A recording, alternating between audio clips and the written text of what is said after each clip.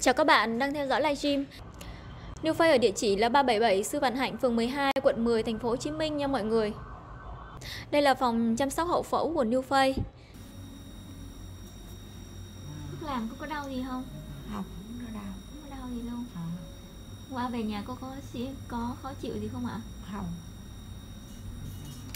cũng không uống thuốc giảm đau nữa tại nghe vậy khi nào đau uống không Dạ. uống Vậy là không đau đúng không ạ? à,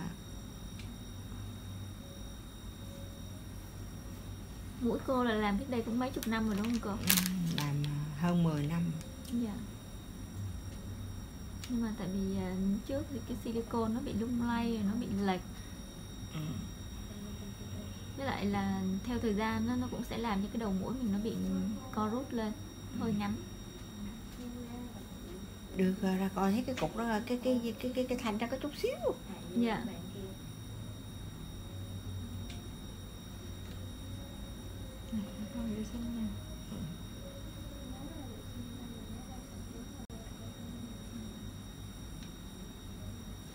sao cô biết tới New Face? Có trên mạng. Cô coi bao lâu mới quyết định làm à? Còn con lần. Lần hai lần thì thấy à, cũng kỹ lưỡng. Dạ. Mà vô thấy kỹ thiệt kỳ đâu là cô tâm làm. Dạ. Thấy không có kỹ vậy. Thấy đây kỹ thiệt á. Lần trước nó không kỹ bằng lần này ạ. Không thuốc tôi xài lắm. Dạ. Lần này là cô à, tư vấn xong này cô được à, khám sức khỏe được xét nghiệm. Đủ điều kiện thì mình mới làm. Ừ, rồi tới các kỹ bạn. phải nói là chỗ này làm kỹ. Vô gặp ông thầy ông thầy gì mổ đó bác Phương ạ. À ông thầy phương thấy mặt ông phú hiền lành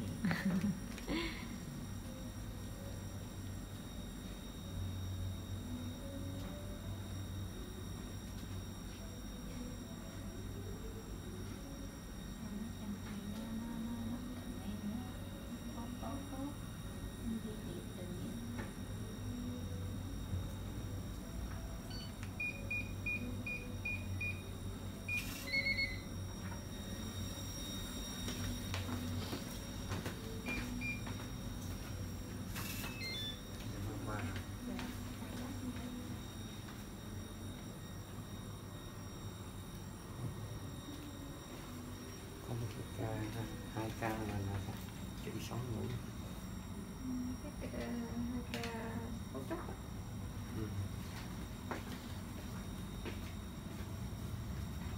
qua làm chị có bị đau không? Hôm qua chị làm không có đau. Nhưng mà cái lỗ tai chị cũng còn đau đau. Dạ. Hơi bầm chút hơi sưng ở cái phần vùng mắt ha. Ừ. mái sưng nữa rồi dạ nó sưng nó hơi sưng một xíu đó. xong rồi nó sẽ chỉ sang vàng nó. Hết hai ba ngày đầu tiên thôi. Ừ.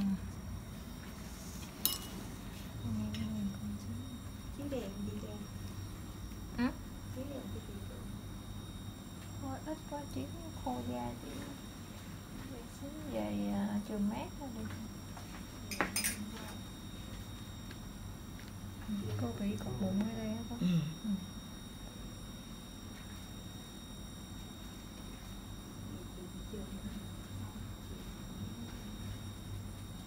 hôm qua có dặn chị cắt cái chỉ ở bên trong này không vậy hôm qua có dặn không?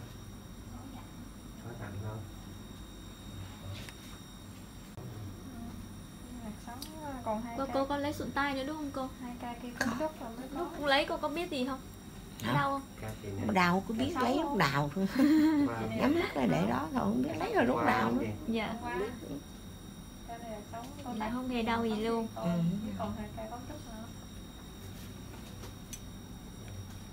Cảm ơn các bạn đã theo dõi livestream. Hẹn các bạn ở những livestream tiếp theo.